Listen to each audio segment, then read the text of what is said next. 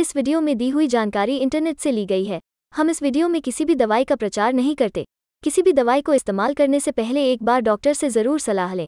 अगर आप इस वीडियो को देखकर किसी दवा का उपयोग करते हैं और आपको कोई साइड इफ़ेक्ट होता है तो उसमें हमारी कोई ज़िम्मेदारी नहीं होगी। एटॉमिक गोल्ड 10 कैप्सूल को हार्ट अटैक की रोकथाम के लिए इस्तेमाल जाता है। यह दवाओं का मिश्रण है जो रक्त वाहिकाओं में थक्के बनने से रोकता है। यह कोलेस्ट्रॉल और ट्राइग्लिसराइड्स के स्तर को कम करने में भी मदद करता है। एटॉमिक गोल्ड 10 कैप्सूल को नियमित रूप से हर दिन एक नियत समय पर भोजन के साथ लिया जाना चाहिए। डॉक्टर द्वारा निर्धारित शेड्यूल के अनुसार आपको नियमित रूप से समान अंतराल पर इसे लेना चाहिए। इसे रोज एक ही समय पर लेने से आपको इसे लेना याद रहेगा। डोज और इलाज का समय इस बात पर निर्भर करेंगे कि आपका इलाज किस लिए किया जा रहा है। जब तक आप पूरा कोर्स पूरा न कर लें, तब तक इसे लेना बंद न करें, भले ही आपको बेहतर महसूस होने लगा हो। जीवन शैली में बदलाव जैसे कम वसा वाला आहार, व्यायाम और धूम्रपान न करना इस दवा को बेहतर तरीके से काम करने में मदद कर सकता है। पेट में दर्द, अपच, चोट लगना और नाक से खून बहना इस दवा के कुछ साइड इफ़ेक्ट्स हैं।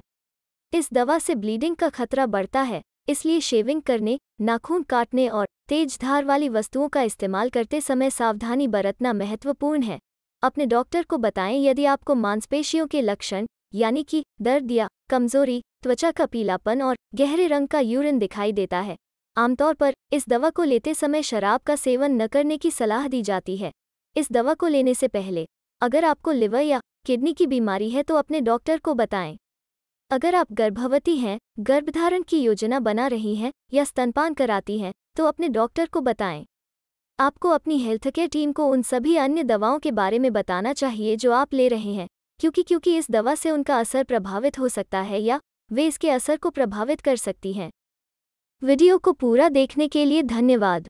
अगर आपको वीडियो अच्छी लगी हो तो वीडियो को लाइक करें और साथ ही हमारे चैनल को सब्सक्राइब करके नोटिफिकेशन बेल आइकॉन पर क्लिक करें और ऑल नोटिफिकेशन को क्लिक करें। धन्यवाद।